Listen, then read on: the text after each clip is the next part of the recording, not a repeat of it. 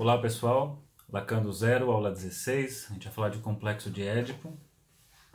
O livro que eu recomendei é esse aqui do Násio, né? Mandei lá para vocês no grupo de WhatsApp. E, bom, quem quiser encontra fácil na internet o PDF desse livro, chama Édipo do, do Násio. E é muito legal esse livro, acho que ele é diferente dos outros que eu conheço, porque ele não tenta mascarar ou deixar a coisa um pouco mais branda com o que é o complexo de Édipo, né? Então, se a gente for pensar, o Freud vai pensar no Édipo como um paradigma para pensar clínica, né?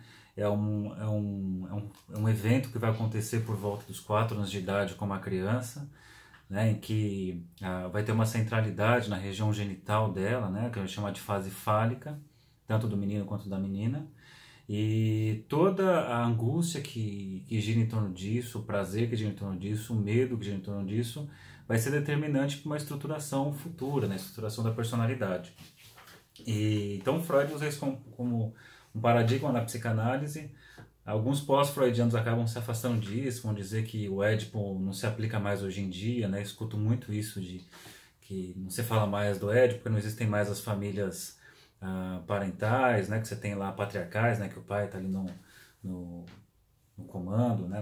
Numa relação hierárquica, o pai, a mãe, a criança. E não é bem por aí a coisa, né? A gente vai ver depois que se trata muito mais também das funções de cada um. Então não tem essa de ser, ah, não tem o pai na história, não tem a mãe na história, é uma família homoafetiva, independente disso, o Édipo vai acontecer. É isso que a gente está falando aqui. Todo modo, eu vou tentar apresentar um pouco tradicionalmente como foi mostrado por Freud e como o Nasio faz a leitura, uma leitura muito legal. Então ele traz algumas coisas aqui bem bacanas. Logo no começo, na página 9 do livro, ele diz assim: O menino está apaixonado pela mãe e quer afastar o pai. A menina, por sua vez, é apaixonada pelo pai, quer afastar a mãe. Então, aquela coisa clássica que a gente vê no shopping, né? A mãe, a criança no meio e o pai, né? Como se estivessem unindo os dois, pensando nesse raciocínio, na verdade está afastando os dois. Então, de alguma forma, o menino está ali apaixonado pela mãe, quer que o pai se afaste, a menina está apaixonada pelo pai, quer que a mãe se afaste. Aí, claro, vem as pessoas dizendo, é um exagero, não acho que é assim, será que sempre é assim, comigo não foi assim. Enfim, tenta entender a matriz primeiro, né, o modelo exemplar, e a partir dele fazer os raciocínios necessários. Antes de jogar fora uma teoria, antes de jogar fora uma opinião, tenta enxergar um pouco e depois fazer as derivações disso. Então ele está dizendo disso. Aí mais para baixo ele fala assim, ó, é, Édipo não é uma história de amor e ódio entre pais e filhos, é uma história de sexo. Que interessante isso. Então a gente vai tentar relativizar, não, mas é o afeto, né? É o afeto pela mãe, etc e tal. O Násio diz, não, não, é o sexo. A gente está falando de sexo. Isto é, uma história de corpos que sentem prazer em se acariciar, se beijar e se morder, em se exibir e se olhar. Em suma, corpos que sentem tanto prazer em se tocar quanto em se fazer mal. É aquela vontade absurda de colonizar o outro, seja pelo prazer, seja pela destruição do outro. Né? Não, Édipo não tem nada a ver com sentimento e ternura, mas com corpo, desejo, fantasias e prazer. Provavelmente pais e filhos amam-se eternamente e podem se odiar, mas no coração do amor e do ódio familiar medra o desejo sexual. Outra máxima dele aqui. Eu vou fazer mais alguns apontamentos das duas primeiras páginas que eu acho que vale muito a pena isso. Depois ele fala: o Édipo é um imenso despropósito, é um desejo sexual próprio de um adulto vivido na cabecinha no corpinho de uma criança de 4 anos e cujo objeto são os pais. Então é interessante, né? Ele fala, é um desejo sexual semelhante ao desejo sexual que existe no corpo de um adulto, só que isso está acontecendo num corpo infantil. Então é um, um desejo, assim, uma sensação de vontade de rasgar o corpo, daquela coisa que não cabe tanto prazer, tanta excitação num corpo só. A gente pode pensar, o exemplo que eu sempre dou é bem tosco, mas ajuda a pensar. Assim, eu fico pensando naquelas promoções tipo Magazine Luiza, que você vai, você tem um minuto para encostar no que você quer na loja. Então você sai correndo e encosta. Então acho que seria tanta emoção assim poder encostar no carro, na televisão, no notebook, sei lá, ter um treco no meio do caminho.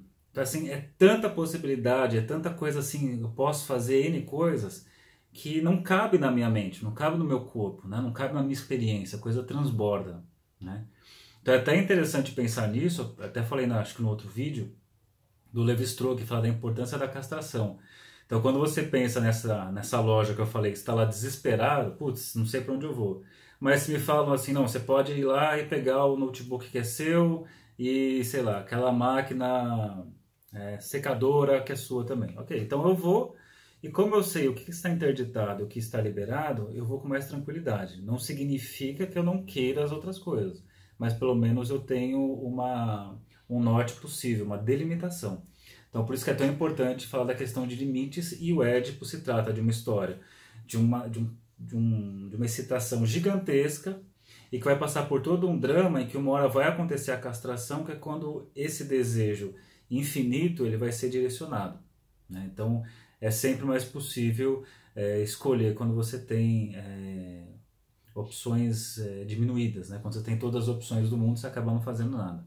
Outro exemplo que eu sempre dou para o pessoal é quando a gente fala assim, é, quando você promete que nas férias vai ler uma porção de coisas, quando chega as férias que você tem lá todo o tempo do mundo para fazer isso, você não faz. Agora, quando você tem pouquíssimo tempo para fazer alguma coisa, em 15 minutos, em 20 minutos, em meia hora, em um dia, você faz milagre, né?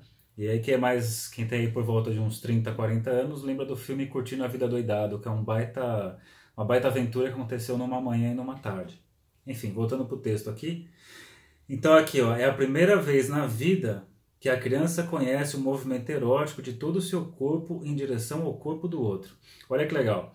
Não se trata mais de uma boca tendendo a um seio, mas de um ser integral que quer apertar o corpo inteiro da mãe. Então tem tudo isso, e quando ele fala de sexual aqui, claro que ele não tá, a criança não está ali pensando em transar com a mãe, assim como um adulto poderia fazer isso. Até porque ela não tem toda essa nem capacidade anatômica e nem a compreensão né, do, do, do de como se faz, do que fazer. Então, é, ela acaba indo dentro do seu repertório. Então, o, o Nazi dá um exemplo assim, ele fala, a mãe está tomando banho, Aí o filho entra escondido no banheiro, no box, morde a bunda dela e sai correndo gritando, né? Todo feliz. Ele fala: Isso é o Édipo, tá vendo? Isso é o Édipo. É esse corpo excitado fazendo aquilo que é possível para é, o seu grau de maturidade naquele instante. Né? Então ele coloca: então tem esse movimento, mas aí põe aqui.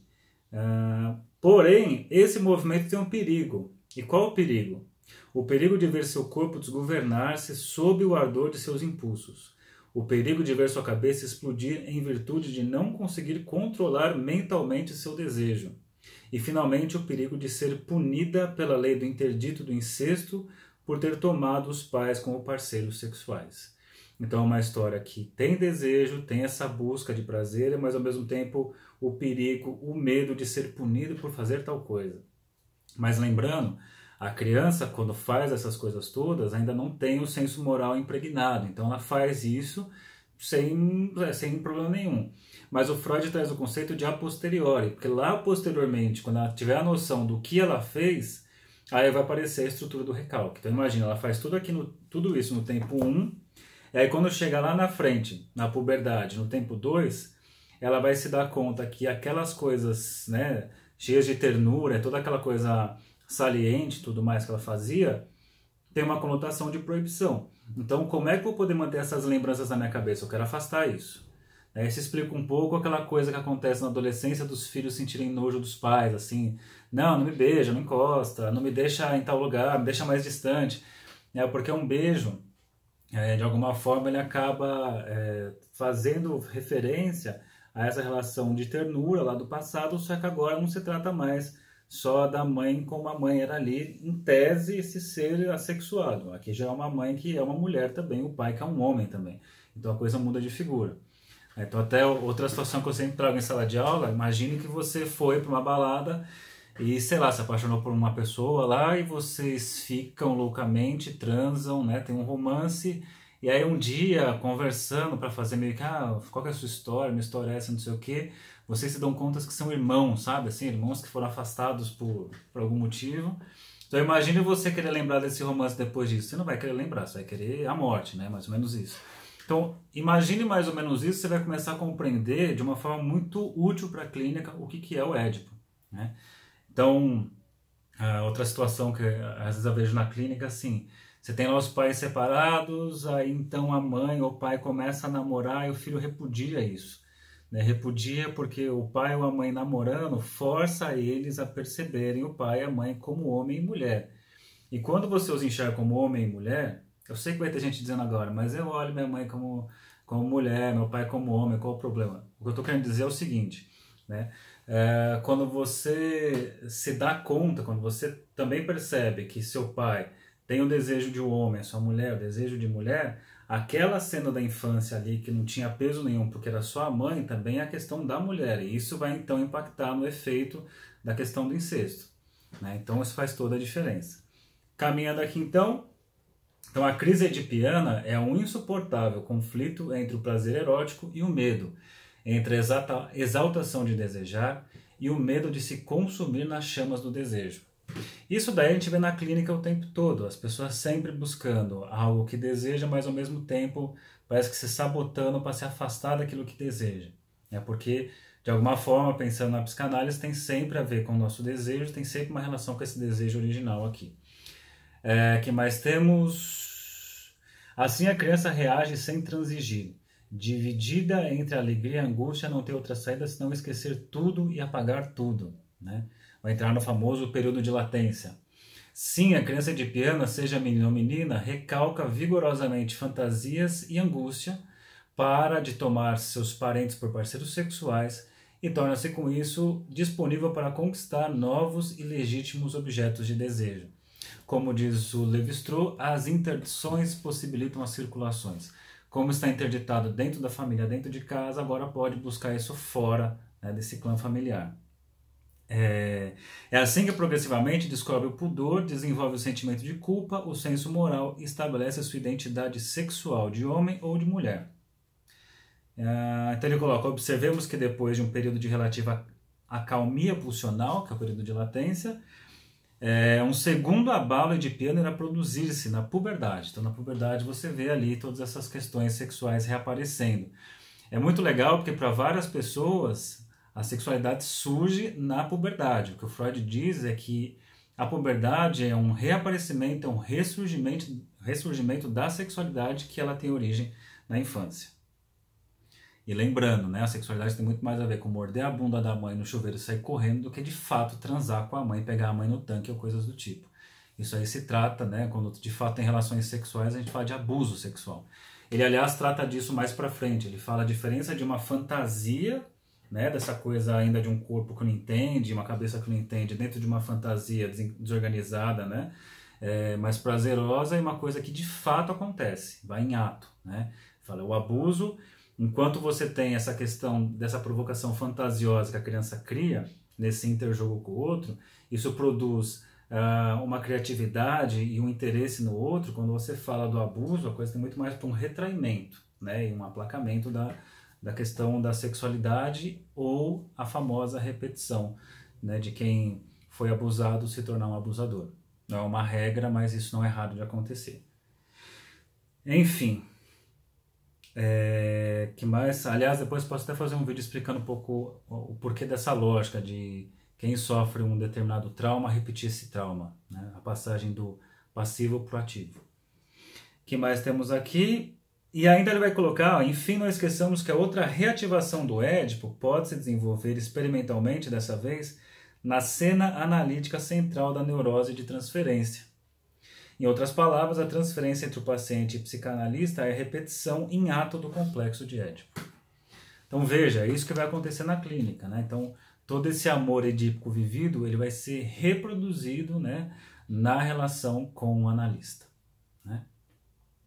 E é muito interessante, porque isso vai, você vai enxergar na questão do pagamento, como a pessoa paga ou não quer pagar, ou esquece de pagar, ou quer pagar antes, ou quer pagar menos ou muito, ou a relação com o tempo, a relação de chegar muito cedo, atrasado, faltar, ou a questão de ir pro divã, não pro divã, todas essas coisas para um psicanalista né, tem uma conotação dentro desse guarda, é, desse guarda-chuva chamado complexo de Édipo. O que mais temos aqui?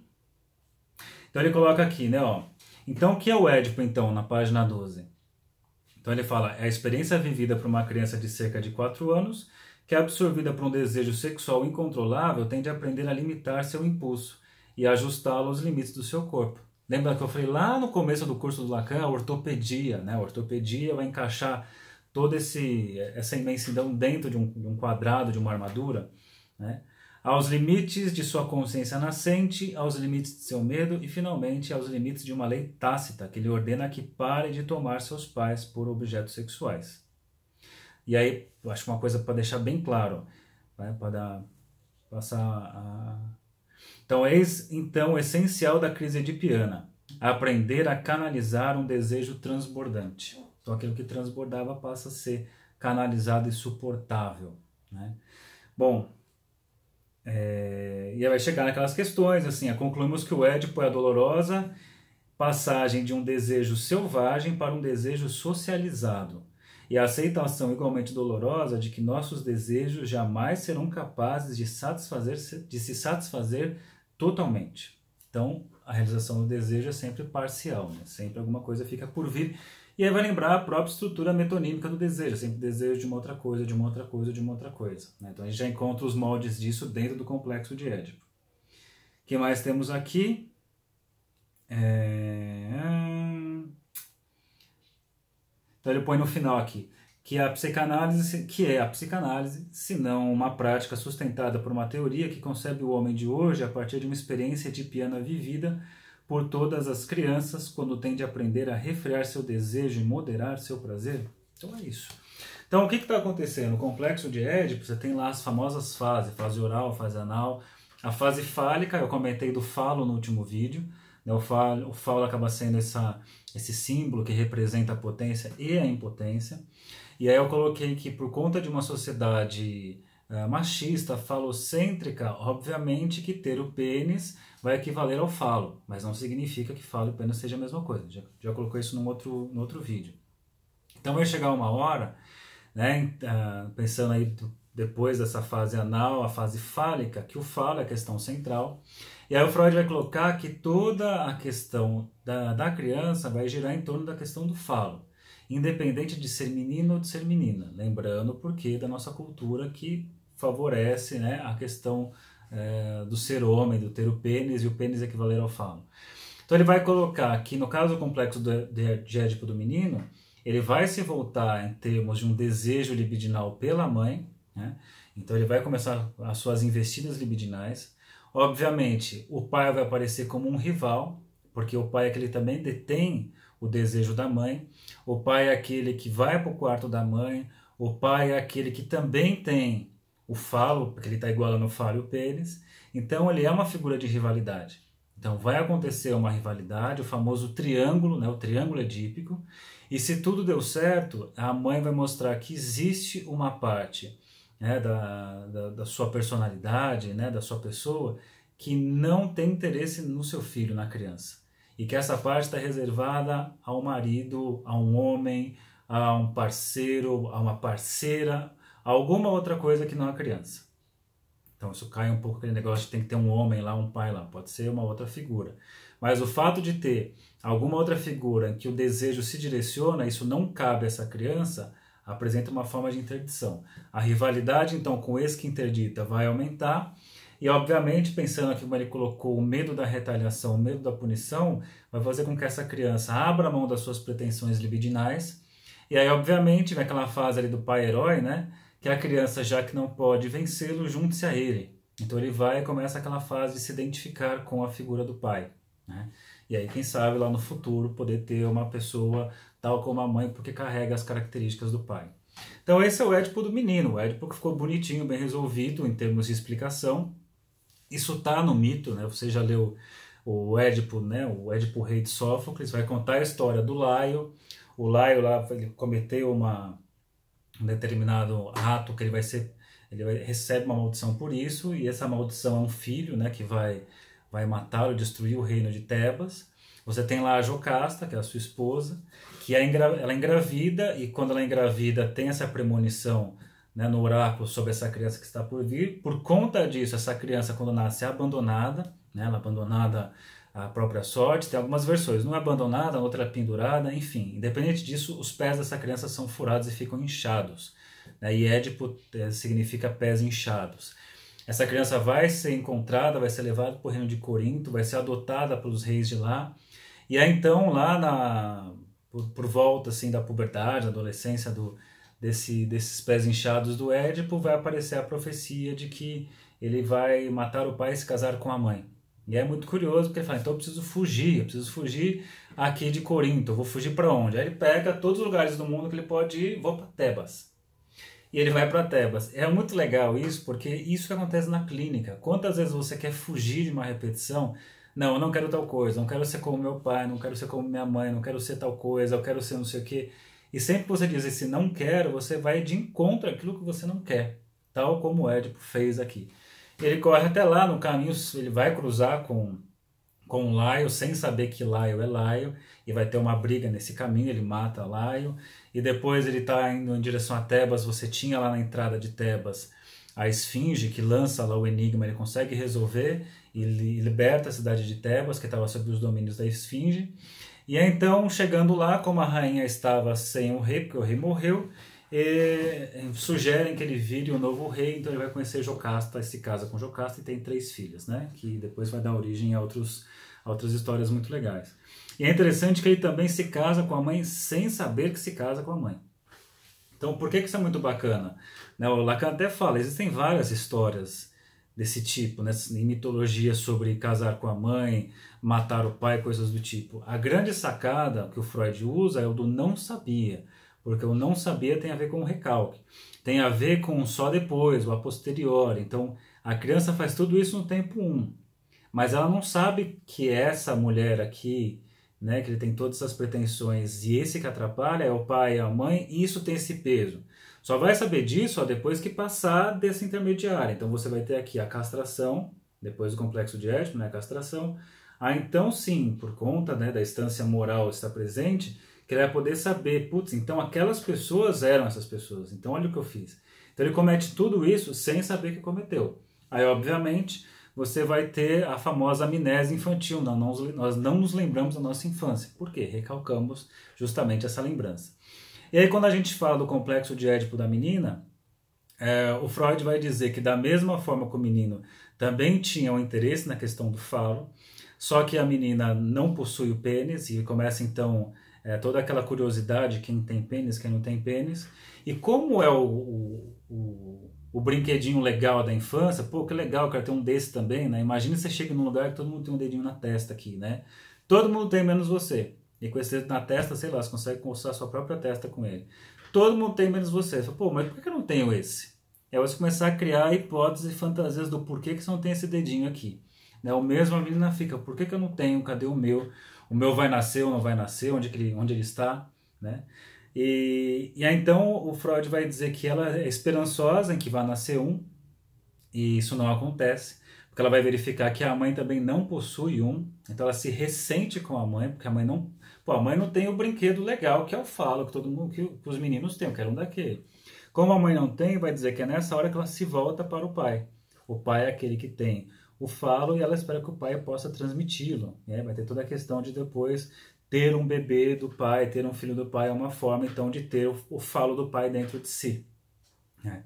Então, só uma coisa que eu acho que eu não comentei um pouco antes, é da questão da ameaça, porque o menininho recebe a ameaça de para com essas graças aí, guarda esse, esse falo, guarda esse falo para dentro, esse pipi para dentro, porque isso vai ser arrancado, igual acontece no pequeno Hans, e ele duvida.